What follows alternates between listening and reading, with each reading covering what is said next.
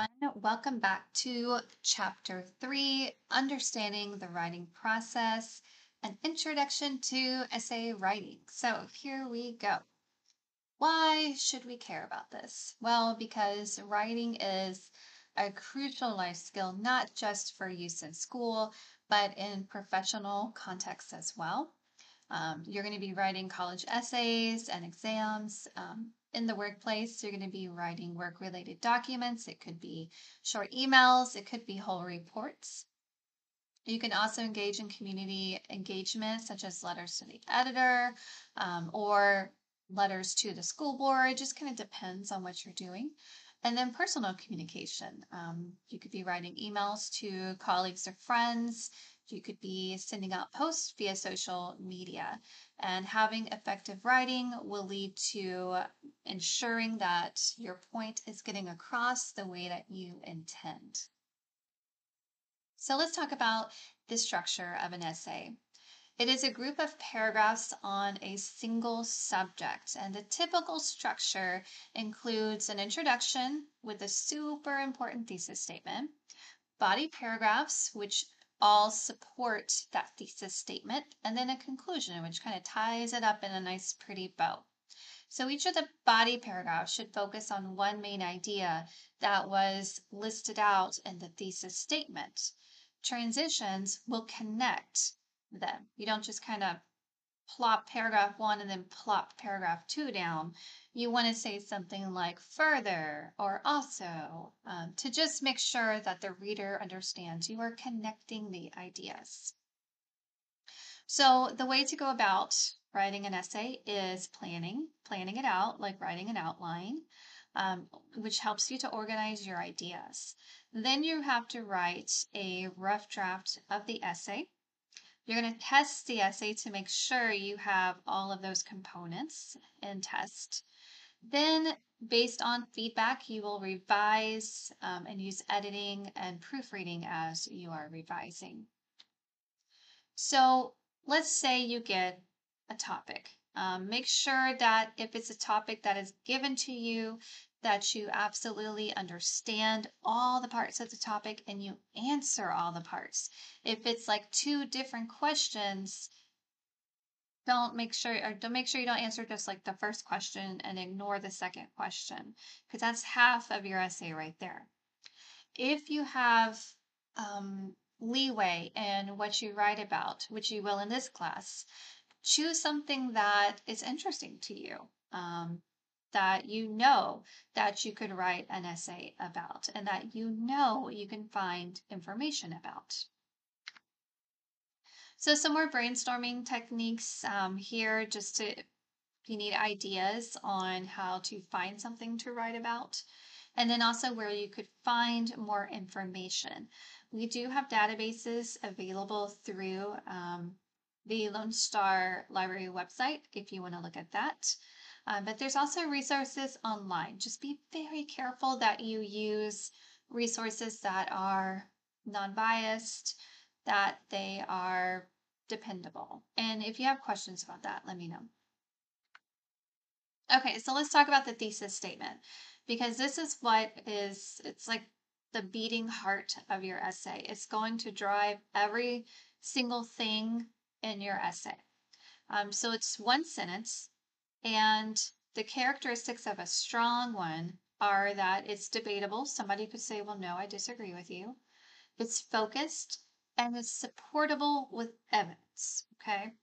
So I gave you an example here. Reducing plastic waste in schools can significantly impact environmental conservation, create opportunities for student engagement, and save money for the schools. So the first thing is somebody could debate that and say, no, that's not true. Like it would not impact the environment whatsoever, or students won't care, or what have you. It's focused because it's all on reducing plastic waste in school. And then it's supportable with evidence because I can look up statistics about schools that have reduced plastic waste and how it helped them. Um, I can look up and see, oh, was, was it led by a student council, student clubs that kind of led the charge in this? And then also how it was fiscally responsible to use um, less plastic waste. Then you're going to select three to five main points that support your thesis. I really, for this particular essay and class, want you to focus on just three so that there's not too much going on. And as you can see, going back here, there's three uh, main points. The main points are that it can impact environmental conservation, create opportunities for student engagement, and save money for the school. So each one of these is a body paragraph. Okay, so one paragraph is going to talk about how it impacts the environment. The next paragraph is going to talk about student engagement. And the last body paragraph will talk about how it saves money. Okay. And then obviously organize it in a logical order. Um, and that will really honestly depend on your topic and your context and all of that good stuff. Okay. So the first thing you're going to need to do is create an outline. The basic outline structure is this. It's going to be your introduction with that thesis. It's going to be your first supporting point of that thesis, your second for body paragraph two, and your third for body paragraph three. The conclusion is just kind of summarizing what you've written so far.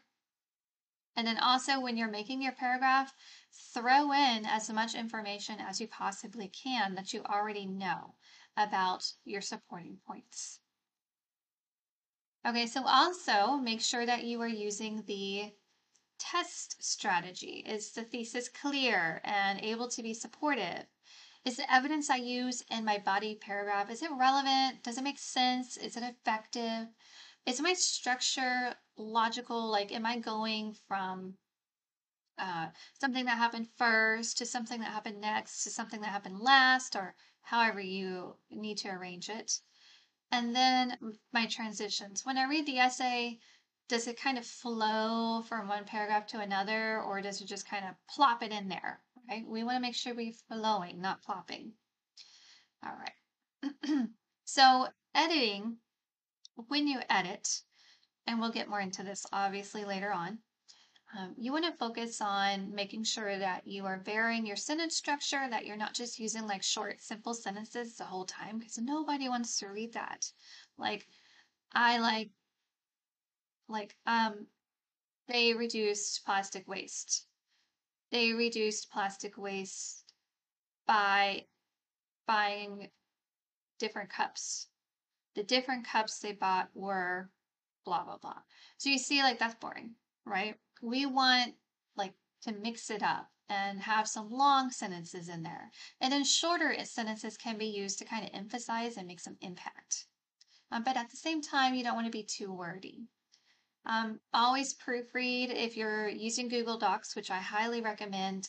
They have a built-in spell check and grammar check as well.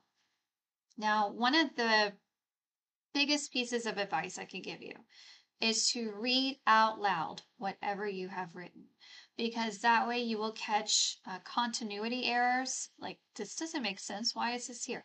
And also grammar errors because you're like that just doesn't sound right. Something's off um, and then you might also catch punctuation errors too. Even better is you can have someone else read the essay to you. And then you're like whoa i really need to fix paragraph two because that's not sounding how i wanted it to sound. All right, so that's it for chapter three, and I'll see you soon.